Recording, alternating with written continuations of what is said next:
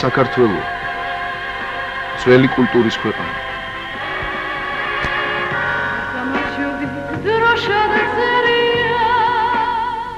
ეს კი ქართულის ვრებია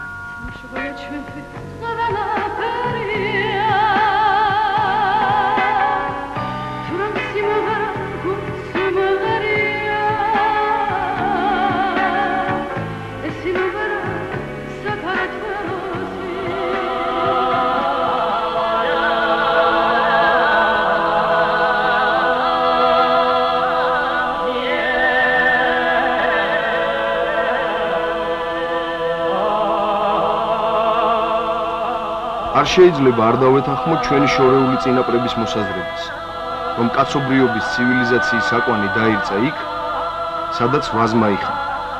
მეცნიერების ვარაუდით, საქართველოს ერთ-ერთი კერაა, სადაც პირველად მოაშინაურეს ველური ვაზი და ყურძნის წვენისგან ღვინო დააყენეს.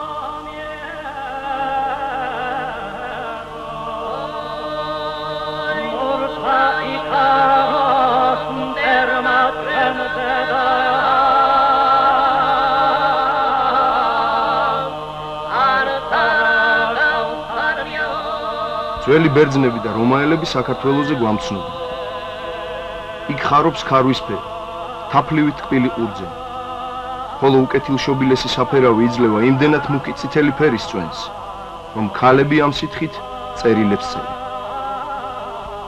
და ალბათ შემთხვევით არ არის, რომ საქართველოს სიმბოლოდ ვაზი იქცა, რომ ქრისტიანული ჯვარიც ვაზისგან არის შექმნილი. საქართველოს მიწა-წყალზე არქეოლოგების მიერ აღმოჩენილი მრავალსაუკუნოვანი ქვევრები, სამწდეურები, ხელადები და თასები კიდევ ერთი დასტურია იმისა, რომ საქართველო ვენახის სამშობლო. საქართველოში გამოჩნდა კაცი, რომელმაც ღვინო სპირტად აქცია, სპირტი კონიაკად და თავის სამშობლოს, მისთვის ამ სრულიად ახალი ნაწარმით კიდევ ერთხელ გაუთქვა სახელი. ეს გახდა ცნობილი მრეწველი და საზოგადო მოღვაწე, დიდი მეცენატი თბილისის საპატიო მოქალაქე დავით სარაჯიშვილი.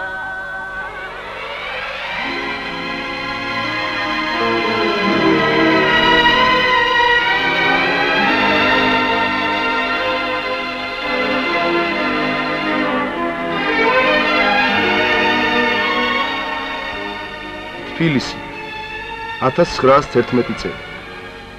ამ წელს აღესრულა დავით სარაჯიშვილი კინოდოკუმენტალისტებმა შემოგვინახეს დავით სარაჯიშვილის დაკრძალვის უნიკალური კადრები. მისმა გარდაცვალებამ შეძრა ქართველი ხალხი და ის სრულიად საქართველოს დაიტირა. ქართველმა და არა მარტო ქართველმა ამ დიდი ადამიანისათვის არც წრემლი დაიშურეს და არც გულში ჩამწდომის სიტყვები. ქართული, რუსული და სომხური პრესა სავსე იყო სამგლოვიარო სტატიებითა და გამოსათხოვარი სიტყვებით. დაკრძალეს მეფური პატივით და დიდებით იმ მიწაში, რომელიც არაერთი ეროვნების ხალხისა და ჯადოსნური სიზმრების აკვნად იქცა. წერდა პოლონელი ჟურნალისტი ქალი რუჟენა ისენსკაია. საკადრისად დააფასა დიდი მამულიშვილის ღვაწლი საქართველოს მომავალმა კათოლიკოს პატრიარქმა კალისტრატე ცინცაძე. შევწიროთ მადლობა ზეციერ მამასა დავით სარაჯიშვილის ქვეყნად მოვლენისათვის და შევევედრნე რომ მსგავსი მისი ყვალად მოხნიჭებოდეს ქვეყანასა ჩვენსა არაერთი და ორი. ამინ. სიყვარულითა და მოგზალებით გააცილა საქართველოს დავით სარაჯიშვილი დიდუბის პანთეონით.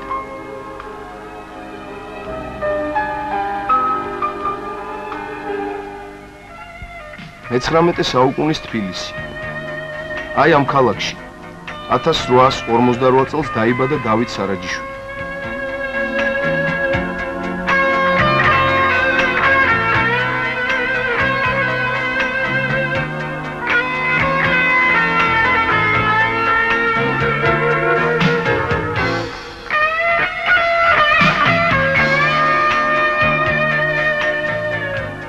იმ დროის თბილისი მთელი კავკასიის ცენტრი იყო. მეფის ნაცვლის რეზიდენციაც თბილისში გახდა და კავკასიაც აქედან იმართებოდა. ქალაქი თანდათანობით ფერსიცვლიდა. იხსნებოდა თეატრები. აიგო ოპერის უნიკალური შენობა.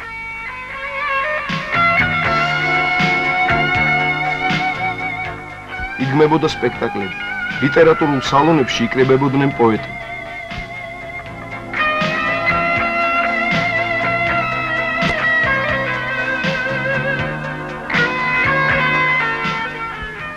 თბილისს ემჩნევა ცივილიზაცია. თბილისი პეტერბურგს ბაძავს. წერდა ლევ ტოლსტოი. და მართლაც ეს 15 საუკუნოვანი დედაქალაქი ევროპელდებოდა. თუმცა თბილისს ძველებური ხიბლი არ დაუკარგავს. თავისი ქუჩაბანდებითა და კოლორიტული აივნებით, ამქრებითა და ყარაჩოღელებით, ციხის ნანგრევებითა და ეკლესიებით, ფოლორცებითა და ორთაჭალის ბაღებით.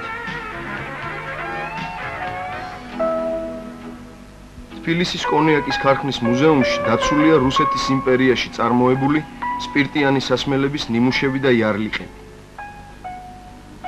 აღმოჩნდა, რომ ჯერ კიდევ 1865 წელს ქუთაისელმა გიორგი ბოლქვაძემ თავის პატარა საწარმოში დაამზადა კონიაკ ლიქიორის ისეთი პროდუქცია, რომელმაც ოქროს მედლები დაიმსახურა. საზღვარგარეთაც იყიდებოდა. თავად გიორგი ბოლქვაძე კი გახდა პარიზის სამი წათმოქმედო აკადემიის წევრი და სხვადასხვა ქვეყნის 14 ორდენის კავალერი. მაგრამ დავით სარაჯიშვილი იყო ის პიროვნება, რომელმაც ეს დარგი გააფართოვა და უდიდესი საწარმოები დააარსა.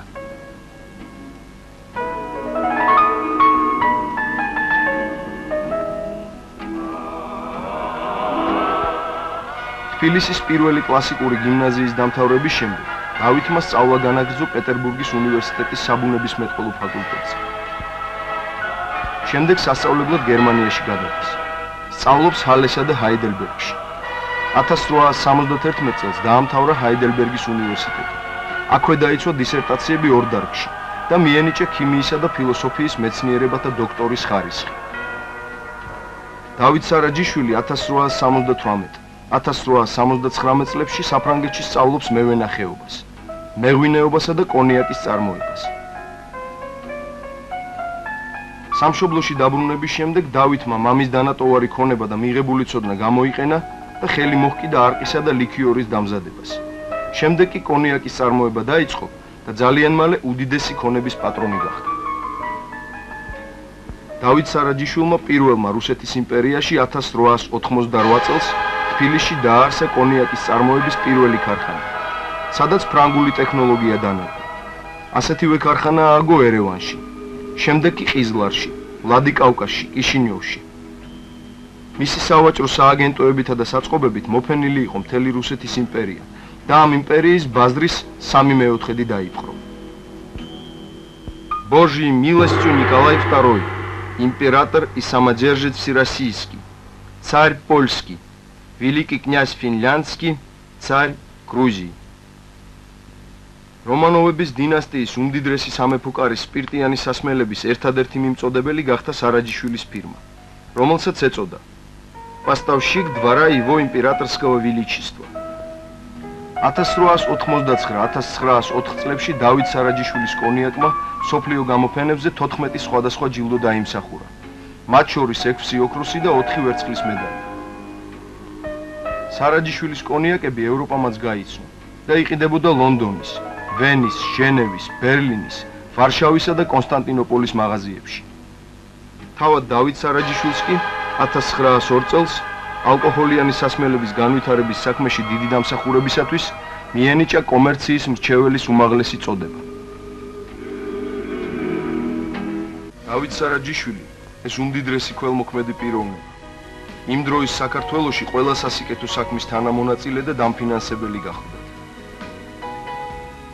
ძველი დაბზარული ქაშვეთის ნაცვლად მისი სახსრებით ახალი ეკლესია აიგო და ტაძრის სამხრეთ კარიბჭის ბრინჯაოს კარზე ასომთავრულად ამოტვიფრეს ინიციალები: დონი და ენი, ანუ დავით და ეკატერინა. დავით სარაჯიშვილმა ასევე ააშენა ქალაქის პირველი საავადმყოფო. დააფინანსა თბილისის უნივერსიტეტის მშენებლობაც. გვესაუბრება აკადემიკოსი მარიამ ლორთქიფანიძე. ოცნებობდა ძლიერ და ბედნიერ საქართველოსზე და მას კარგად ჰქონდა გაცნობიერებული რომ ბედნიერი და ძლიერი საქართველოსთვის აუცილებელი იყო რომ განათლება ყოფილიყო მაღალ დონეზე და რომ ქართველებს ყოველდღე მეცნიერები რომელიც საფუძველს დაუდებდნენ ეროვნული მეცნიერების სხვადასხვა დარგის განვითარებას. სწორედ ამიტომ იმ დიდ სამოქმედო საქმიანობაში, რომელსაც ის მთელი თავისი ცხოვრების მანძილზე ეწეოდა და ანდერტშიც ბოლოს დატოვა, განსაკუთრებული ადგილი უკავია თანხებს გაღებულ განათლებისა და მეცნიერებისათვის. იხსნიდა სკოლებს, არსებულ სკოლებს უჩენდა მატერიალურ დახმარებას და ცდილობდა რომ განათლების დონე აწეულიყო. ამავე დროს, რადგან მაშინ საქართველოში არ არსებობდა ეროვნული უმაღლესი სასწავლებელი, მას აუცილებლად მიაჩნდა რომ ქართველებს განათლება მიეღოთ რუსეთის და ევროპის უმაღლეს სასწავლებლებში.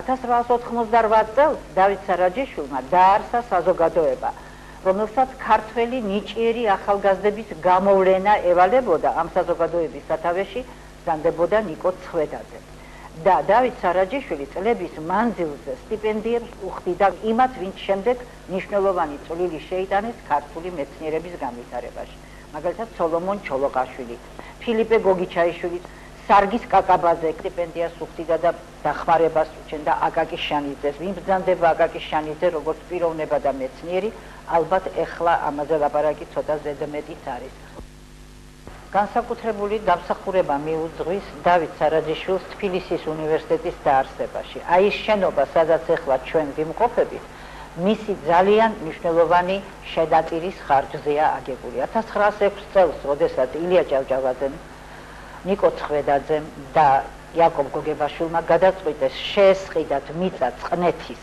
დასაც წყნეთის ქუჩის დასაწყისში, მათ რასაკვირველია ამისთვის დიდი თანხები ჭირდებოდათ. მივიდა დავით სარაჯიშვილი ნიკო ცხედაძესთან, საკმაოდ დიდი თანხა გადასცა და მოახსენა, ეს იყოს ჯერ და შემდეგ რაც საჭირო იქნება, ყველაფერს მე კიდე გადამიხდი. საინტერესოა რომ ილია ჯავჯავაძეს და სამოციანელებს თავის დროზე მოთხოვნილი ჰქონდათ თავრობისაგან უფლება თბილისში ქართული უნივერსიტეტის დაარსებისა, მათ ეს უფლება ვერ მიიღეს მაგრამ ილია ჭავჭავაძე მაინც დარწმუნებული იყო, რომ ოდესმე თბილისში ქართული უნივერსიტეტი დაფუძნდებოდა. 1918 წელს, ოდესაც გაიხსნა თბილისის უნივერსიტეტი, უკვე დავით სარაჯიშვილი ცოცხალი არ იყო, მაგრამ მისი ანდერძის თანახმად მისმა მეუღლემ უნივერსიტეტს გადასცა მისი პირადი ბიბლიოთეკა, ძალიან დიდი რაოდენობა უნიკალური წიგნებისა, სამი შესანიშნავი კარადით და უნივერსიტეტის გამგეობამ მას დიდი მადლობა მოახსენა ამ საქმისათვის. ერთი შტრიხი, როდესაც დავით სარაჯიშვილმა ნიკო ცხრედაძეს ფული გადასცა, უთხრა აი ეს, მაგრამ ამას ნუ გაახმაურე. ესე იგი, მას არ ჭირდებოდა რეკლამა, მას არ ჭირდებოდა ლაპარაკი იმის შესახებ თუ რას აკეთებდა ის, მას ჭირდებოდა დიდი საქმის კეთება. დავით სარაჯიშვილმა ევროპიდან დაბრუნების შემდეგ ცოლად შეირთო სათნოებითა და განათლებით გამორჩეული ეკატერინე ფორაქიშვილი. თბილისში ყოფილი სერგიევის ახლანდელი მაჩაბლის ქუჩაზე აიშენეს სახლი.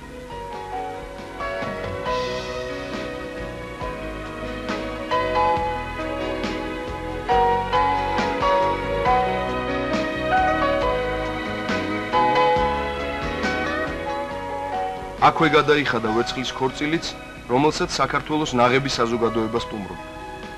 ეს სახლი, რომელიც სარაჯიშვილმა შემდგომ ანდერძით ქართულ ხალხს დაუტოვა, კულტურის ნამდვილ სავანედ იქცა. აქ იკრიბებოდნენ ცნობილი ქართველი მოღვაწენი, უცხოელი ლიტერატორები და მეცნიერები. ვესაუბრება კინორეჟისორი რევას ჩხეიძე. მაგრამ შეიძლება ყველას ბოლომდე წარმოდგენილი არ კონდეს ის დიდი ღვაწლი, რაც დავით სარაჯიშვილმა მოიმოქმედა ქართული კულტურის განვითარებისა და აღორძინებისათვის. აი ქართული კულტურის აღორძინებაში დავით სარაჯიშვილმა დიდი როლი ითამაშა. აი წარმოვიდგინოთ უბრალოდ მე დავასახელებ ახლა იმ ადამიანებს, რომლის სწავლა განათლება არ შედგებოდა და მათი არენაზე ქართულ ცხოვრებაში ის დიდი აქციები, რომლებიც ამათმა ჩაატარეს, ხედველობაში მაგ მომავალი კომპოზიტორები, მხატვრები, მომღერლები, ეს არ შედგებოდა რო არა დავით სარაჯიშვილი, რომელმაც თავისი სტიპენდიები, თავისი მოვლა პატრონები განსაზღვრა ისეთი ადამიანების ბედი, რომელიც როგორც გახდნენ მელტონ ბალაჩივაძე, კოტე ფოცხერაშვილი, ხატრები მოსეთოიძე, გიგო გაბაშვილი, მოქანდაკე იაკობ ნიკოლაძე, მომღერლები ვანო სარაჯიშვილი, ქაშაკაშვილი, ეხლა ისეთი რამეც მოვიგონო, დიდი ილიას განდეგილის პირველი წაკითხვა, ოთარ ანთქრივის პირველი წაკითხვა. მოხდა დავით სარაჯიშვილის სახლში, სადაც მთელი ქართული საზოგადოება იყოს წარმოდგენილი. წარმოგიდგენიათ ილია ჭავჭავაძის ნათლია, მის ნაწარმოების ნათლია მასვეტაშვილმა უწოდა დავით სარაჯიშვილს. ეს დიდი მოვლენა არის.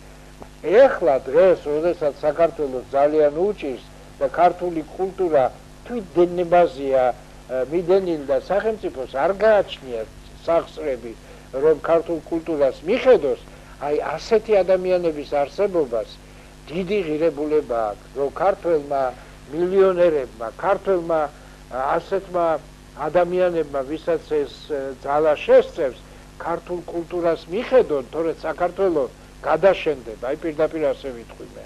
და მინდა ამ შემთხვევაში კალისტრატორის ცინცაძეს მიმართო ისევე კალისტრატე ცინცაძე მადლობას წირავდა უფალ ღმერთს იმისაც ასეთი პიროვნება დაიბადაო და სურვილი მაქვს რომ ღმერთმა კიდე შეგვეძინოს ქართველებს კიდე მისცეს ასეთი გაციო დავით სარაჯიშვილის სწავლას მოწყურებულ ახალგაზრდობაზე ზრუნავდა ფინანსურად ეხმარებოდა და უამრავი სტიპენდიანტიც ხავდა მათ შორის იყვნენ ია კარგარეთელი კოტე ფოცხერაშვილი მოსე თოიძე გიგო გაბაშვილი გრიგოლ მესხი, შალვა ქიქოძე, მოსე ჯანაშვილი, კალისტრატე ცინცაძე, ექვთიმე თაყაიშვილი, აკაკი შანიძე, თედო სახოკია, წერალი უიარაღო, გერონტი ქიქოძე, მიტროფანე ლაღიძე და სხვები.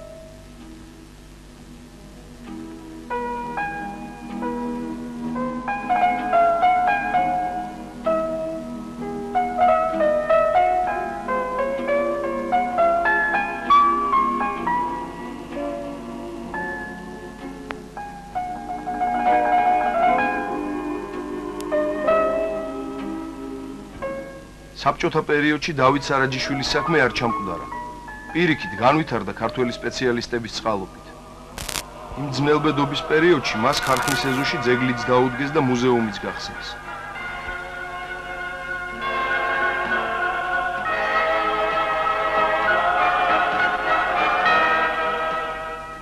თბილისის კონიაკის ქარხანაში ყმაწვილობიდან მუშაობდა სარაჯიშვილის მოწაფე. კონიაკ ენისელის შემქმნელი სტალინური პრემიის ლაურეატი ვახტანგ ციციშვილი. კონიაკის ქარხანას წლების მანძილზე სათავეში უდგნენ ვალერიან ჭანიშვილი, დავით ნიკოლაიშვილი, გივი გუჯეჯიანი, ელგუჯა ცინცაძე, კარლო გველესიანი და სხვები, რომლებმაც დიდი წვლილი შეიტანეს ქართული კონიაკის წარმოების განვითარებაში. ქართულმა სპეციალისტებმა დაამზადეს საქვეყნო ცნობილი სამარკო კონიაკები: გრემი, ვარციხე, თბილისი. ქარხნის მუზეუმში დაცულია ყველა მედალი, რაც კი ოდესმე მიუღია ქართულ კონიაკს.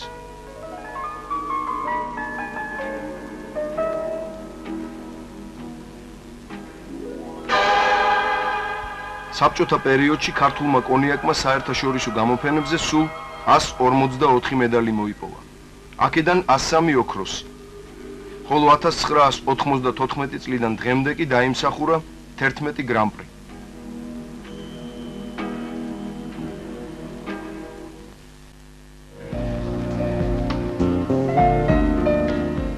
თბილისის კონიაკის ქარხანა თანამედროვე ტექნიკით აღჭურვილი უდიდესი საწარმოა.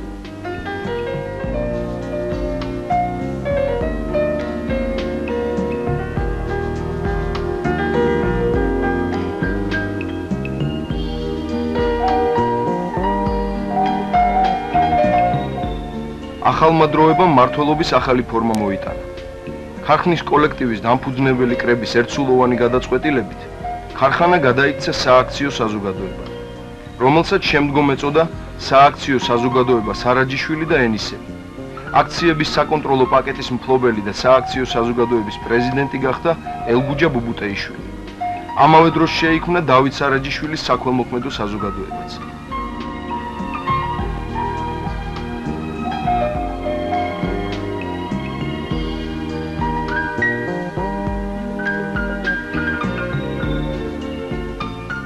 თვით ქარხანა და მისი ტერიტორია სანიმუშოა ყველა საწარმოსთვის და დღესდღეობით იშვიათი გამონაკლისია, რომელიც სრული დატვირთვით მუშაობს. ქარხნის მუშა-მოსამსახურეებისთვის კანონად ქცეულა ბატონ ელგუჯა ბუბუტეიშვილის სიტყვები. უსაქმურობაზე უბოროტესი ტანჯვა არ არსებობს. ამ საცავებში მოთავსებულია ქარხნის სიმდიდრე, სპირტით სავსე მუხის კასრები. როდის დაიწყო ადამიანმა ღვინიდან სპირტის დამზადება? ჯერ კიდევ მე-10 საუკუნეში ხდიდნენ არაბი ექიმები ღვინიდან სპირტს.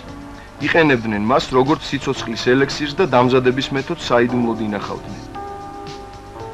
კონიაკის სამშობლოდ საფრანგეთია ცნობილი. ფრანგებს თავისი ნაწარმი ღვინის სპირტი საექსპორტოდ გაჰქონდათ. მაგრამ მე-18 საუკუნის დასაწყისში ინგლისთან დაწყებულმა 13 წლიანმა ომმა ფრანგი მეწარმეები აიძულა ეს სპირტი მუხის კასრებში შეენახა.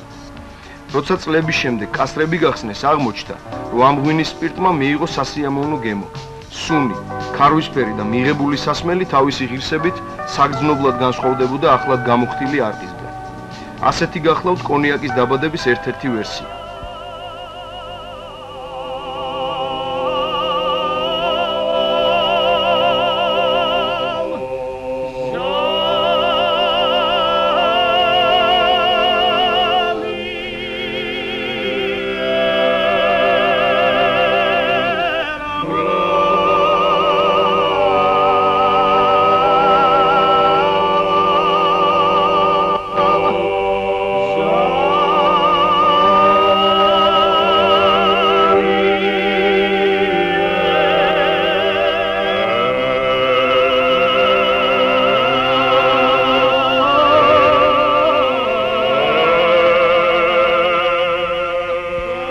იტალიის სავაჭრო ფირმის ანჯელო გუალას პრეზიდენტს პიერო ძავატაროს ისე მოეწონა კონიაკი ენისელი, რომ მოითხოვა მისი რეგულარული მიწოდება და ითხოვა ნებართვა.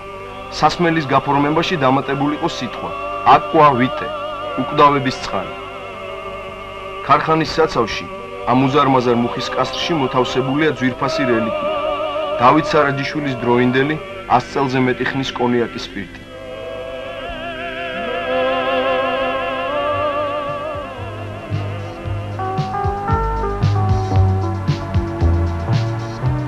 ქარხანა ამჟამად უშვებს 12 დასახელების კონიაკს. ანუ ყოველწლიურად 50000 დეკალიტრ კონიაკს.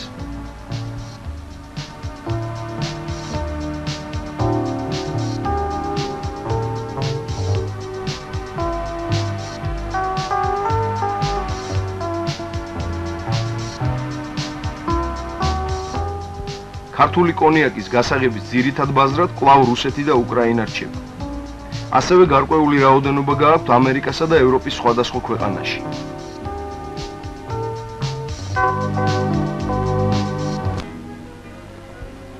ქართულ მწერალთა და საზოგადო მოღვაწეთა დიდუბის პანთეონი, სადაც დაკრძალულნი იყვნენ დავით და ეკატერინე შარაჯიშვილები. 1939 წელს რესპუბლიკის მთავრობის მითითებით კაპიტალისტი სარაჯიშვილები როგორც ამ პანთეონისთვის შეუფერებელნი სამარხიდან ამოიღეს და ვაკის სასაფლაოზე გადაასვენეს. ხოლო 1995 წლის 25 ივნისს ელგუჯა ბუბუტეიშვილის თავკაცობით დავით სარაჯიშვილი და მისი მეუღლე ვაკის სასაფლაოდან ამოასვენეს და უკანასკნელი სასუფეველის გზას გაუყენეს.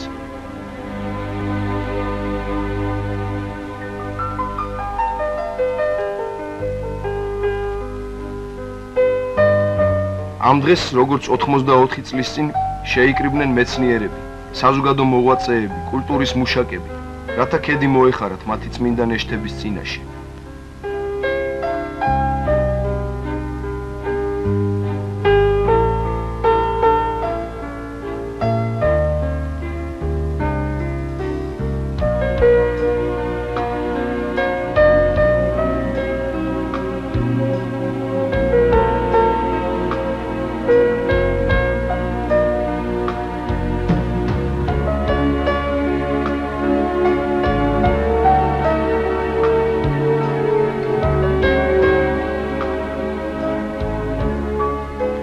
დავით სარაჯიშვილი მუდამ თავის ხალხზე ფიქრობდა და შთამომავლობამაც მას საკადრისი პატივი მიაგო.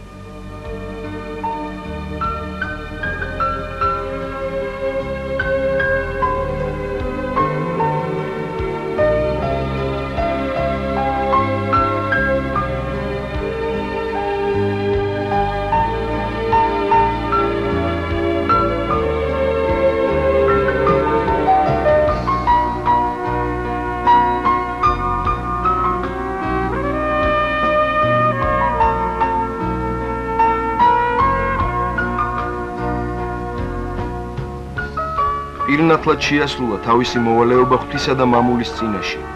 შევევედრნენ ქრისტეს აღმერთს, რათა სული ახლად გარდაცვალებულისა მონისა ღვთისა დავითისა დაამკვიდროს.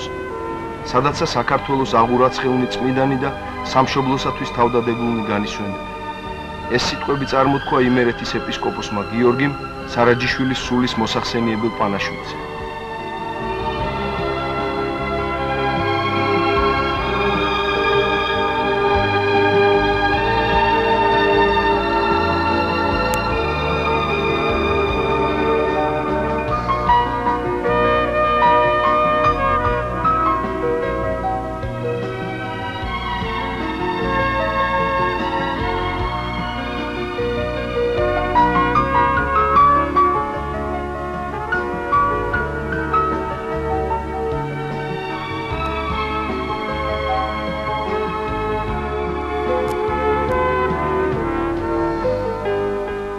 მთელი თბილისი მიაცილებდა დიდებულ ქართველებს.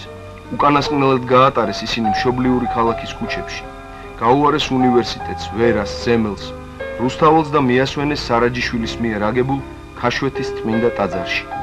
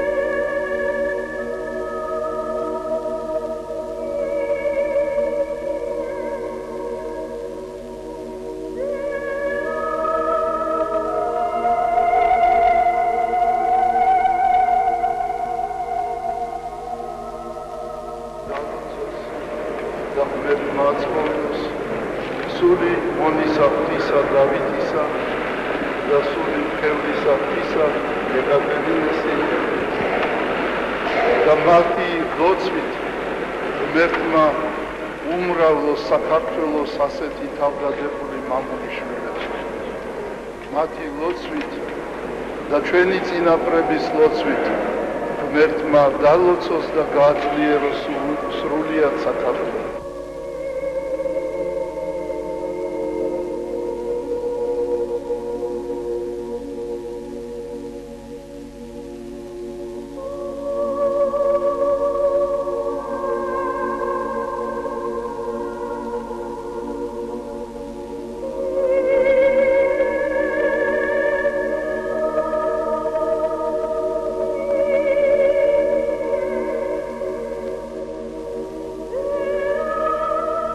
ბატონი დავითის დაკრძალვაზე ანდერძის წესის აღსრულებისას სიონის ტაძარში ეპისკოპოს ლეონიდეს უბრძანებია.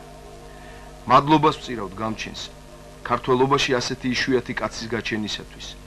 საღმრთო მხიარულებითა და მხურვალე ლოცვა კურთხევით გავისტუმროთ ძვირფასი დავითის ზეციური მამისკენ, რომელიც სიხარულით მოელის მას.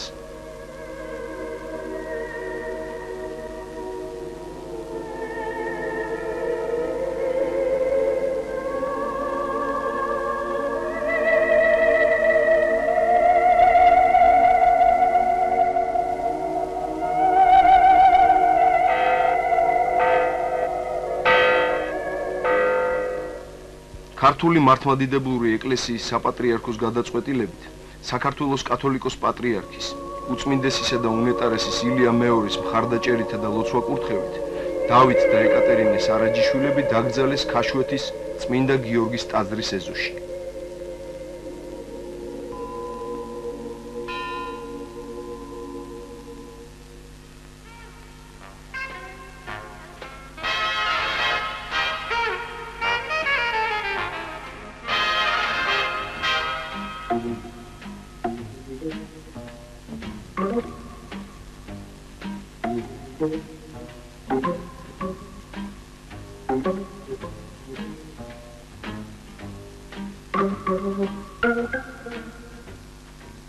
ელგუჯა ბუბუტეიშვილის დაკვეთით ცნობილმა მოქანდაკემ თენგიზ კიკალიშვილმა დაიწყო მუშაობა დავით სარაჯიშვილის ქანდაკებაზე.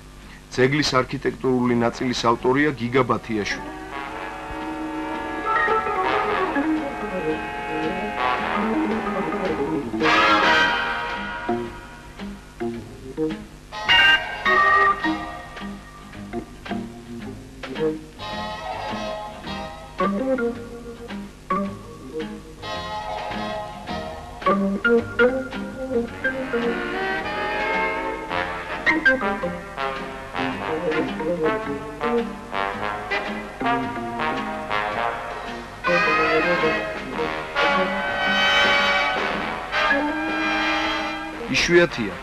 ძეგლის კვარცხლბეკის დადგმას ამდენი ხალხი ესწრებოდეს. მაგრამ ეს ისეთივე განსაკუთრებული შემთხვევაა, როგორი განსაკუთრებულიც იყო თავად დავით სარაჯიშვილი. სიცოცხლეშიც და სიკვდილის შემდეგაც ანდამატივით რომ იზიდავდა ადამიანებს. კვარცხლბეკის დადგმისას შიგ ჩაატანეს ჩანაწერი, რომ გვედავითოს დავით, მადლიერის თამომავლებისადმი და კონიაკი დავით სარაჯიშვილი.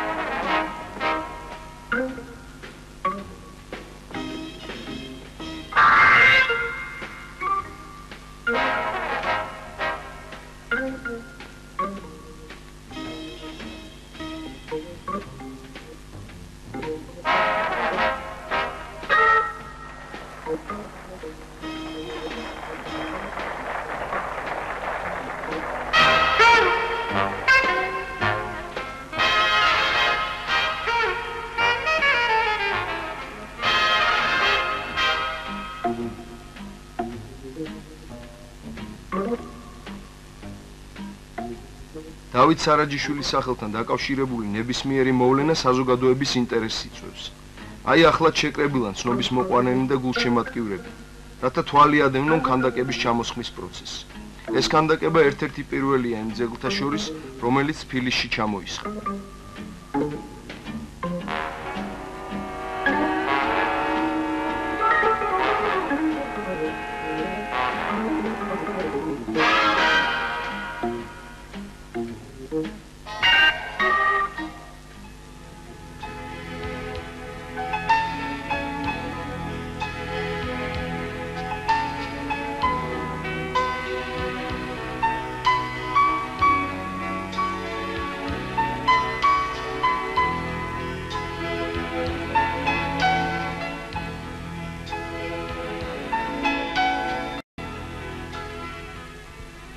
წლის 10 ნოემბერი. დავით სარაჯიშვილის ძეგლის გახსნა თბილისის ძველუბანში. რიყეზე მიუხედავად სუსხიანი ამინდისა, თბილისისთვის კიდევ ერთ ღირსშესანიშნავ დღედ იქცა. გახსნაზე მობრძანდნენ საქართველოს პრეზიდენტი ედუარდ შევარდნაძე, კათოლიკოს პატრიარქი ილია მეორე, ქალაქის მერი, მეცნიერებისა და კულტურის მოღვაწენი, ბიზნესმენები და თბილისის მოქალაქეები.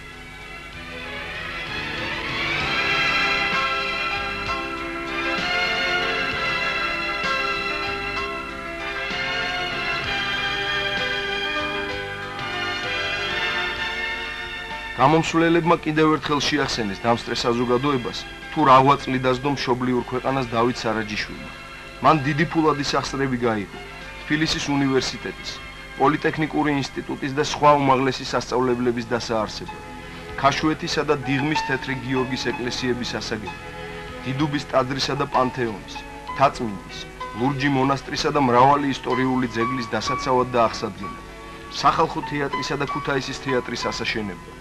გიმნაზიის, ვლადიკავკასის ქართული სკოლის, დაწყებითი და პროფესიული სკოლების ასაშენებლად და შესანახად, საერო და სხვა სპეციალიზებული მუზეუმების დასაფუძნებლად, ქირურგიული საავადმყოფოს ასაშენებლად, ექვთიმე თაყაიშვილის ტაო-კლარჯეთის არქეოლოგიური ექსპედიციის დასაფინანსებლად.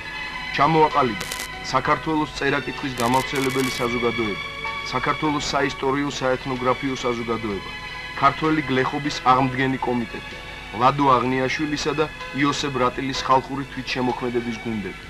დაარსა კომიტეტი ნიჭიერი ახალგაზრდების გამოსავლებით. აზღვევდა მის საწარმოში მომუშავე ყველა მუშის სიცოცხლეს.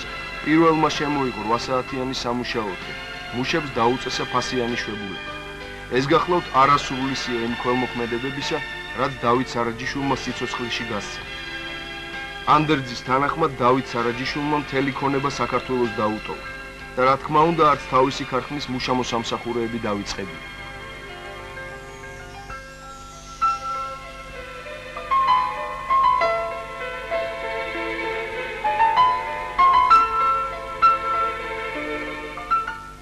უბრება ელგუჯა ბუბუტეიშვილი. მშობლების და განგების რომ საქართველოსი ვიხდით საჯერს და ჩემი მამე და კალბატონი შეენია რომელმაც და რომელიც დაჟინებული თხოვნით მე გავხდი ქიმიკოსი. ვინაიდან ჩემი ბაბუა ნესტორ ბუბუტეიშვილი რომელმაც დაამთავრა აკადემია 1931 წელს მოსკოვში. არ დარჩა მოსკოვის ასპირანტურაში და წამოვიდა ჭიათურაში. და გახდა ჭიათურის მაღაროს უფროსი და ამიტომ ბაბუა ჩემის ხალხით მე გავხდი ჯერ ქიმიკოსი, შემდეგ კი მშენებელი. მე მადლობელი ვარ, რომ მემერგო წილად, რომ დიდი დავით სარაჯიშვილი ჩადგა ჩვენი ქვეყნის სამსახურში მეორედ. ეს ყველაფერი მოიტანა ელემენტარულად ხშირად მესმოდა რომ დაკითხულობდი რომ დიდი ილიას მეგობარი გახდათ დავით სარაჯიშვილი.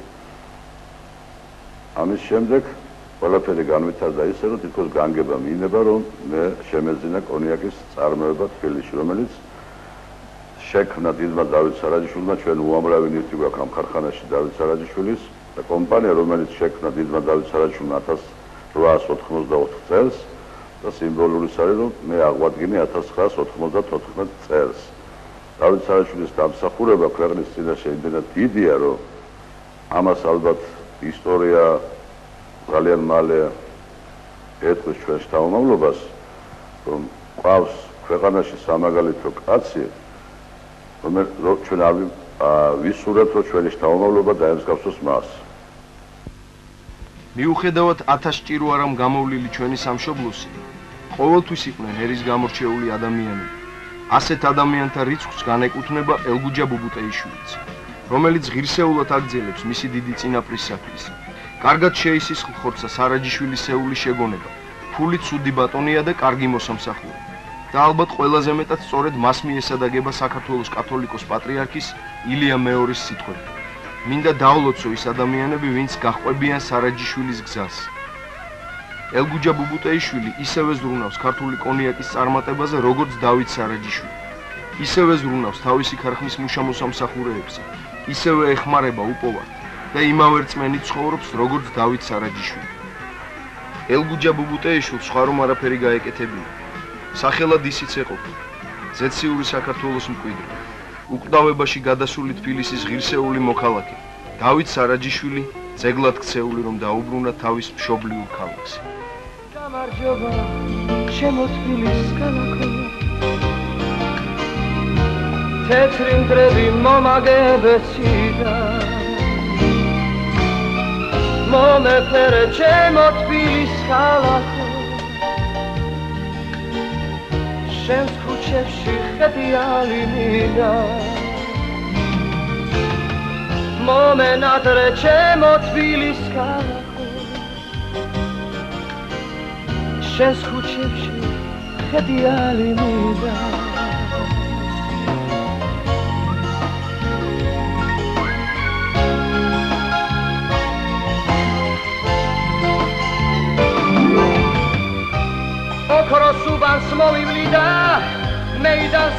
I'm gonna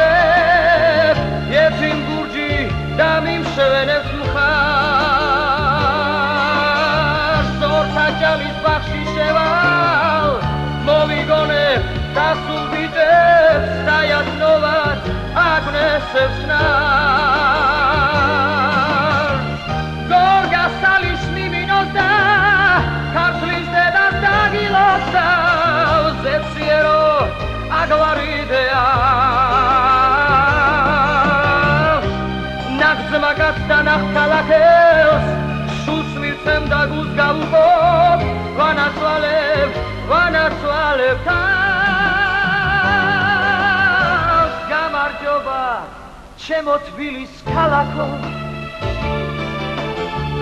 თეთრი მტრედი მომაგებეცი და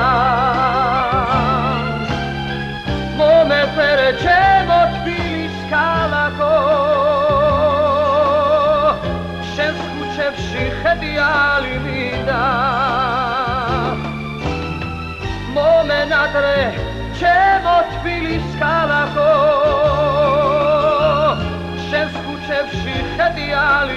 ალივიდა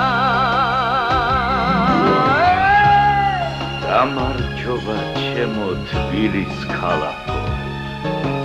თეთრი მტრედი მომაგებეციდა მომეფერე ჩემო თბილის ქალაქო შენს ქუჩებში ხეტიალი მინდა. მომენატრე ჩემო თბილის ქალაქო შენს ქუჩებში ხეტიალი მინდა. დორგასალის მიმინოდა ქართლის დედა საგილოცა ზეციერო აგვარიდეა. ნახზმაგასთან ახალახელ სუსრიცემ და გულს გაუგო ვანასვალე ვანასვალე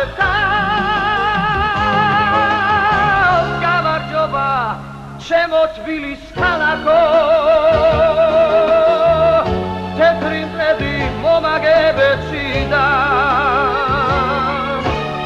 Mone pere, život vyvyskala ko, šesku še přichedila.